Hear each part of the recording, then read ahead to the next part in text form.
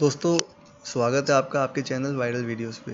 तो आज इस वीडियो में हम कुछ ऐसी टेक्निक्स के बारे में जानेंगे जिनसे हम लॉन्ग टर्म के लिए अच्छे स्टॉक्स को चुन सकते हैं और इन टेक्निक्स को हमें टेक्निकल एनालिसिस नहीं भी आता तो भी हम अप्लाई कर सकते हैं। बहुत सिंपल टेक्निक्स है और दो से तीन मिनट में हम डिसाइड कर सकते हैं कि क्या हमारे को किसी ये जो हम स्टॉक के बारे में सोच रहे हैं इन्वेस्टमेंट के लिए, क्या वो स्टॉक सही है, क्या वो हमारे को अगले दो से तीन साल में अच्छा रिटर्न दे सकता है। अभी मार्केट इतना करेक्ट कर गई है तो काफ़ी सारे स्टॉक्स हैं जो बहुत नीचे हैं। तो हमारे को मन में काफ़ी सारे स्टॉक्स को लेकर सवाल आता होगा कि क्या इसमें हमारे को इन्वेस्टमेंट करना चाहिए? और अगर किसी को टेक्निकल एनालिसिस नहीं आती है तो उसके लिए ये टेक्निक बहुत ज़रूरी है जानना। और अगर आप इन टेक्निक्स को सही से, सभी रूल्स को सही से फॉलो करोगे तो आपको अच्छे स्टॉक्स मिलेंगे जो अगले दो से तीन साल में आपके पैसे को डबल कर सकते हैं। और आपको जो लॉस होने की प्रोबेबिलिटी है, वो बहुत कम है।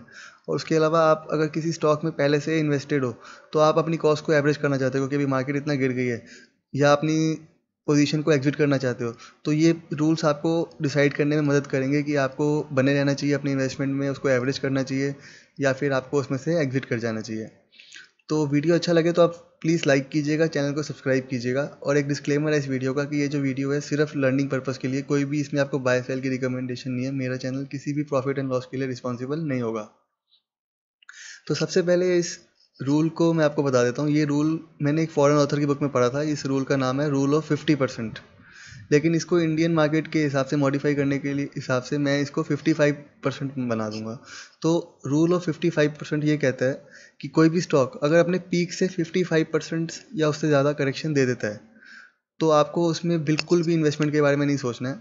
और अगर आप इस रूल को सौ मतलब शेयर्स पे अप्लाई करोगे तो आप पाओगे कि लगभग लगभग नाइन्टी नाइन शेयर्स ऐसे होंगे जो कभी भी रिकवर नहीं कर सकते। यानी कोई अगर हज़ार रुपये का शेयर फिफ्टी फाइव परसेंट या उससे ज़्यादा करेक्शन दे देता है, यानी साढ़े चार सौ का लेवल टेस्ट करता है या उसके नीचे चला जाता है तो आप मान के चल सकते हो कि वो अब दोबारा हज़ार रुपये का लेवल दोबारा टेस्ट नहीं करेगा और उसमें हो सकता है कि गिरावट इतनी आ जाए कि वो दस, बीस, पच्चीस रुपये तक का हो जाए। तो लॉन्ग टर्म के लिए अगर आपको अच्छे स्टॉक चूज़ करने हैं तो आपको पहले पॉइंट तो ये है कि आपको वो स्टॉक्स देखने हैं जो अपने पीक से at least fifty fifty five percent के वैल्यू से अभी ऊपर हैं या फिर वहाँ से टेस्ट करके उसको रिबाउंड कर चुके हैं। तो जैसे हम एग्जांपल लेते हैं इस वीडियो में, हम सबसे पहले एग्जांपल लेते हैं येस बैंक का। आप देखोगे कि येस बैंक ने पीक बनाया था चार सौ पच्चीस का।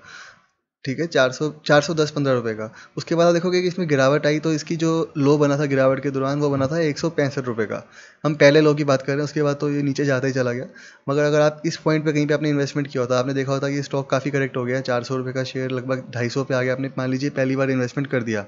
और उसके बाद आप सोच रहे हैं कि अब आप इसको एवरेज करना चाहते हैं तो आपने दूसरी बार इन्वेस्टमेंट कर दिया, मान लीजिए वन सिक्सटी वन सेवेंटी के आसपास। उसके बाद आप देखोगे कि ये थोड़ा ऊपर गया, उसके बाद और नीचे आना चालू हो गया। तो होता क्या कि हम गिरते हुए स्टॉक में इन्वेस्टमेंट करते हैं।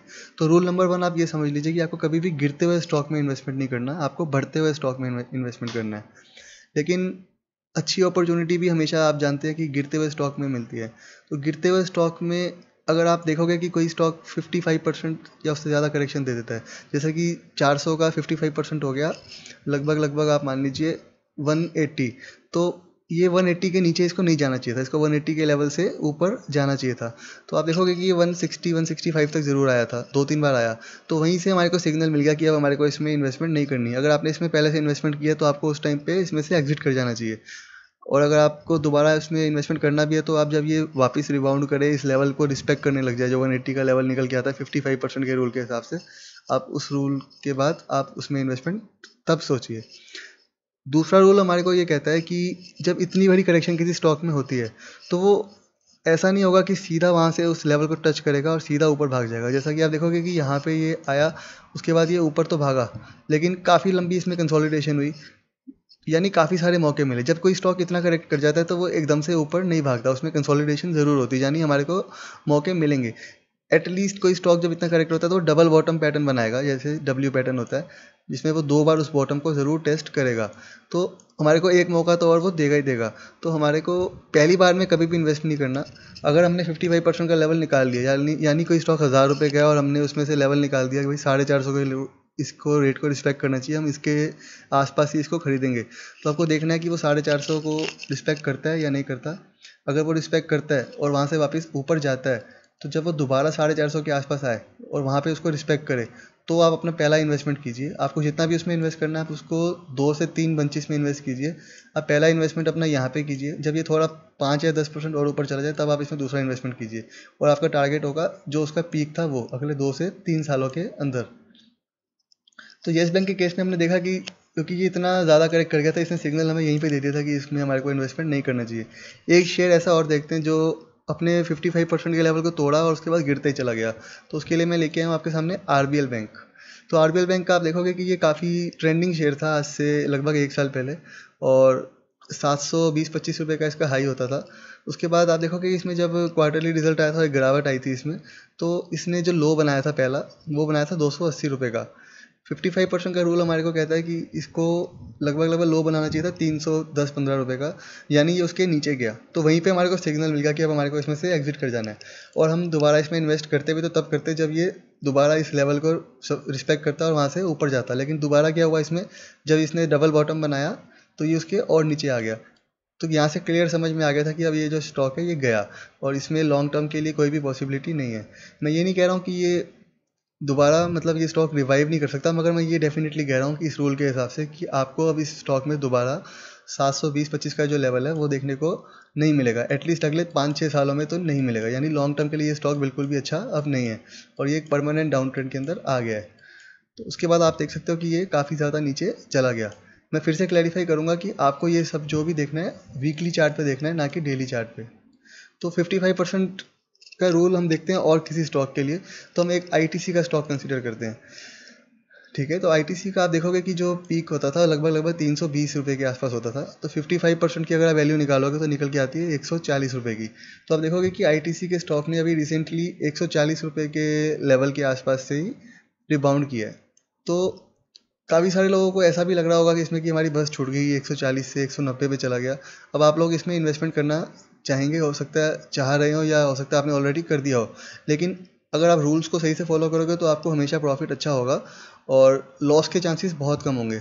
तो अब आपको ये देखना है कि आईटीसी जैसा स्टॉक जो है वो दोबारा इस लेवल के आसपास ज़रूर आएगा। एक दफ़ा सिर्फ़ वो नीचे के लेवल से ऊपर चला गया ऐसा नहीं हो सकता।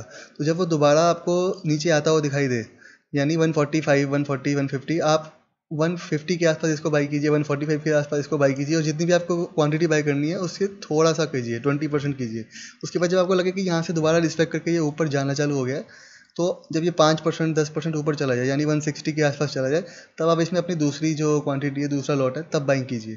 तो आपकी जो कॉस्ट है, हालाँकि बॉटम के बहुत करीब आएगी, लेकिन आप लॉन्ग टर्म के लिए टारगेट आपको बहुत अच्छा मिल जाएगा। ये वापस आपको दो से तीन सालों में तीन सौ बीस का लेवल दिखाई दे सकता है।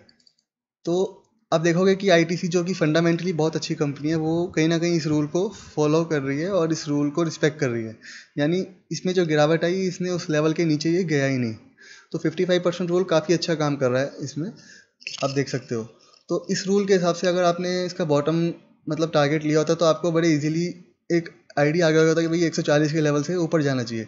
तो एक बार आपको कोई अच्छी फंडामेंटली अच्छी कंपनी जो आपको लगता है कि भाई लॉन्ग टर्म में सर्वाइव करेगी कंपनी बंद नहीं होने वाली कंपनी अच्छी है कंपनी पर डेप्ट नहीं है लॉन्ग टर्म के लिए अच्छी कंपनी है, आपने फाइंड आउट कर लिया तो उसकी आपको अच्छी बाइंग प्राइस का टारगेट ऑटोमेटिकली ये रूल बता देगा कि भाई जो इसका पीक था, उसका 55 परसेंट जो है, वो इसका एक बेस्ट बाइंग प्राइस है और उसके जितना आसपास मेरे को हो सकेगा, मैं अपनी एवरेज कॉस्ट को बिठाऊँगा। एक स्टॉक और देखते हैं हम लोग। हम लोग देखते हैं पी का स्टॉक आप देखोगे कि पीवीआर ने 2100 के लेवल पे अपना हाई बनाया। तो 55 परसेंट का रूल जो है, इसका जो 55 परसेंट वैल्यू निकल के आती है, वो निकल के आती है नौ सौ साठ रुपये आप देखोगे कि पीवीआर ने जो लो बनाया एग्जैक्टली लगभग नौ सौ साठ रुपये के आसपास बनाया, नौ सौ तीस रुपये का लो बनाया। तो इसने उसको रिस्पेक्ट किया। लेकिन जैसा कि मैं आपको रूल्स बताया, हमने वीकली चार्ट खोल रखा है तो हमने पहली दफ़ा में यहाँ पे बाइंग नहीं करनी है। अब ये ऊपर गया, लेकिन ये ज़रूर डेफिनेटली डेफिनेटली नीचे आएगा। अब आपको कोशिश करनी है इसको 950 60 के आसपास बाइंग करने की। आपको जितनी भी इसमें क्वांटिटी बाई करनी है, आप उसकी थोड़ी सी क्वांटिटी यहाँ पे बाई कीजिए। उसके बाद आप इसको ऊपर जाने दीजिए। जब ये ऊपर चला जाएगा पाँच या दस परसेंट तब आप दूसरी अपना जो क्वांटिटी बाई कीजिए। आपकी एवरेज कॉस्ट बीच में कहीं पे आएगी और आपका टारगेट बहुत अच्छा है। अभी हालाँकि इसमें कोरोना वायरस के कारण पेन है, लेकिन ये कंपनी फंडामेंटली अच्छी है तो आपको लॉन्ग टर्म में अच्छा रिटर्न दे सकती है। और जब ये पेन चला जाएगा तो डेफिनेटली अपने अगर इस लेवल को रिस्पेक्ट कर लेती है तो ये डेफिनेटली अपने जो पुराना इसका पीक था, उसको टेस्ट करेगी या उससे भी ऊपर जाएगी। और दूसरे टाइम में आपको ये देखना है इन्वेस्टमेंट के टाइम पे कि इस लेवल से सपोर्ट लेता है कि नहीं। जैसे अगर ये यहाँ से सपोर्ट ना ले और यहाँ से नीचे चला जाए तो फिर आपको इसको कंसिडर बाइंग के लिए नहीं करना।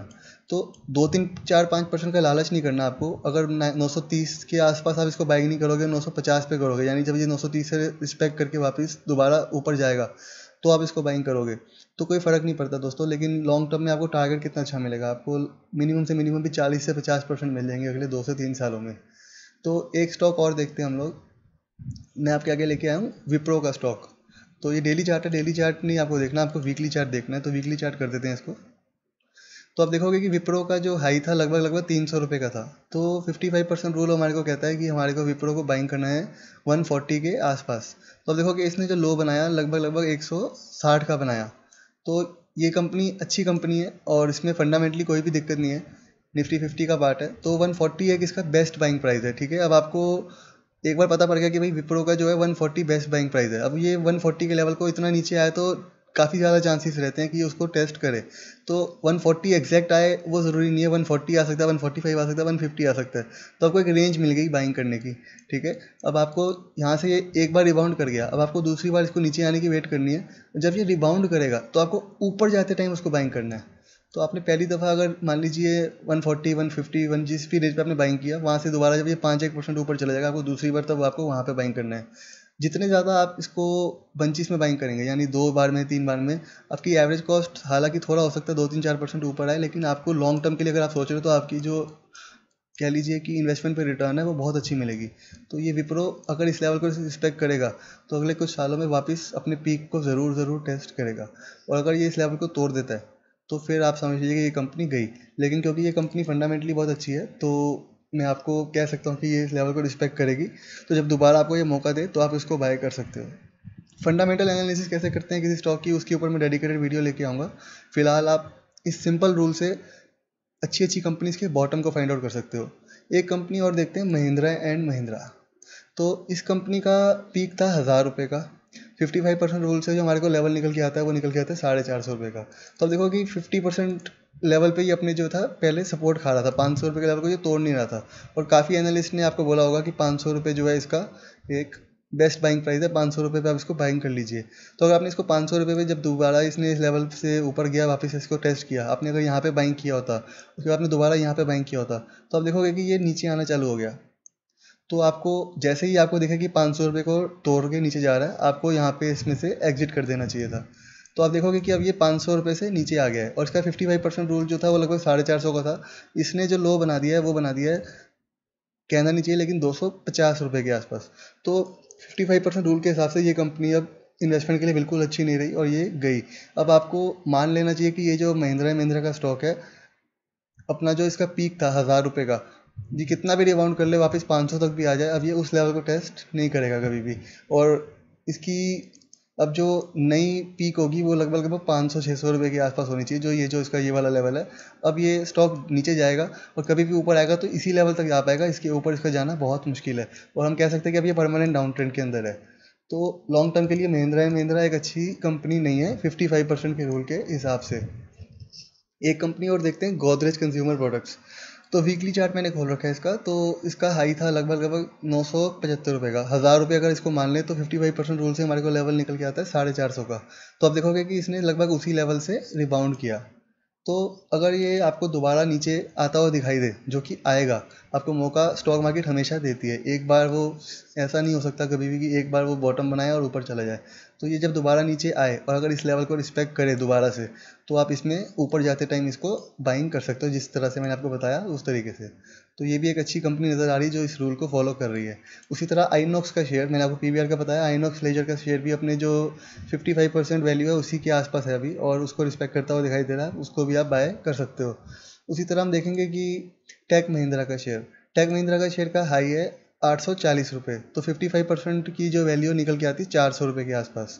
तो चार सौ रुपये ये भी एक कंपनी फंडामेंटली अच्छी कंपनी है तो आपको एक बार पता पड़ गया चार सौ रुपये इसका जो है, एक लो है। और आप देखोगे कि ट्रेंड लाइन के हिसाब से भी सपोर्ट लेवल निकल के आता है यही, तीन सौ अस्सी चार सौ का। तो अब आपको लालच नहीं करना, आपको पता है ये चार सौ तक आ सकता है तो ये चार सौ तक ज़रूर आएगा। जब इसने इतनी करेक्शन दे दी तो ये वहाँ तक भी आएगा।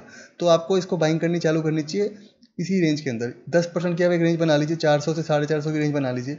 अब आप इसको इस रेंज में बाइंग कीजिए। और बाइंग कब करेंगे आप? जब ये इस रेंज से सपोर्ट लेके टेस्ट करके ऊपर की तरफ़ जाएगा। हो सकता है ये 400 से ऊपर जाए, हो सकता है 425 से ऊपर जाए। जिस भी लेवल से ये ऊपर जाना चालू करेगा, आपको उस रेंज में इसको बाइंग करनी स्टार्ट करनी है और दो या तीन बार में बाइंग करनी है। तो आपका टारगेट बहुत ही बड़ा होगा जब ये सारा कोरोना वायरस का चक्कर निकल जाएगा, ये ऊपर चला जाएगा। तो कहना मुश्किल होता है कि कोई स्टॉक ऊपर जाएगा या नीचे जाएगा, क्योंकि कंपनी के अंदर क्या चल रहा है, कोई फंडामेंटली कोई दिक्कत चल रही है डेप्थ कितना है, वो सब एनालिसिस हम जो रिपोर्ट्स है पब्लिक डोमेन में उन्हीं को पढ़ सकते हैं, लेकिन कंपनी के अंदर क्या दिक्कत चल रही है, हमारे को एग्जैक्ट मालूम करना बहुत मुश्किल है। जैसा कि हमने देखा येस बैंक के केस में आरबीएल बैंक के केस में महिंद्रा एंड महिंद्रा के केस में, जो बहुत अच्छी कंपनी साउंड करती थी, लेकिन अब आज उनका रेट इतना गिर गया कि वो अच्छी नहीं रही। तो हमें हमेशा इन्वेस्टमेंट करनी, ध्यान रखने वाली बात यही है कि जब कंपनी ऊपर की तरफ़ जा रही है। एक कंपनी और देख लेते हैं लास्ट इस वीडियो को एंड करने के लिए तो आईआरसीटीसी तो आईआरसीटीसी में काफ़ी लोग मेरे से पूछते थे कि कौन सा लेवल अच्छा है इसको बाइंग करने के लिए। तो अगर आपको लेवल निकालना तो सिंपल है फिफ्टी फाइव परसेंट रूल को यूज़ कीजिए यहाँ पे। दो हज़ार का इसका हाई था तो फिफ्टी फाइव परसेंट रूल से आपको जो वैल्यू निकल के आ गई, वो निकल के आ गई नौ सौ रुपये की। तो आप देखोगे कि इसने लगभग लगभग आठ सौ रुपये से भी कुछ नीचे ये गया। लेकिन वहाँ से ऊपर आ गया। तो इस कंपनी क्योंकि इसको ज़्यादा टाइम नहीं हुआ तो अभी डाटा हमारे पास कम है, लेकिन फिर भी लगभग कहीं ना कहीं इसको ये रिस्पेक्ट कर रहा है। अब ये ऊपर चला गया अब लेकिन दोबारा ज़रूर नीचे आएगा। अगर ये इस लेवल को रिस्पेक्ट करता है, आठ सौ रुपये के लेवल को तो तो ठीक है। अगर ये इस लेवल से नीचे चला जाता है तो हमारे को I R C T C में बिल्कुल भी इन्वेस्टमेंट के लिए कंसिडर नहीं करना चाहिए। एक एग्ज़ाम्पल और देता हूँ आपको मैं जस्ट डायल का। तो ये भी काफ़ी पॉपुलर कंपनी है, काफ़ी लोगों को इसमें काफ़ी इंटरेस्ट है। ये मैंने इसलिए यूज़ किया क्योंकि इसमें आपको एक रूल मैं और समझाना चाहूँगा। आप देखोगे कि इसका प्रीवियस हाई तो था अठारह सौ रुपये का। तो ये इतनी करेक्शन कर गया।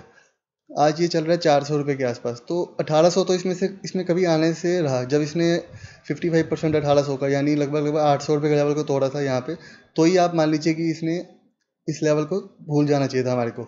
लेकिन अब इसका एक नया हाई बन चुका है आठ सौ रुपये का, जो इसने यहाँ पे भी बनाया, उसके बाद इसने अभी रिसेंटली भी बनाया।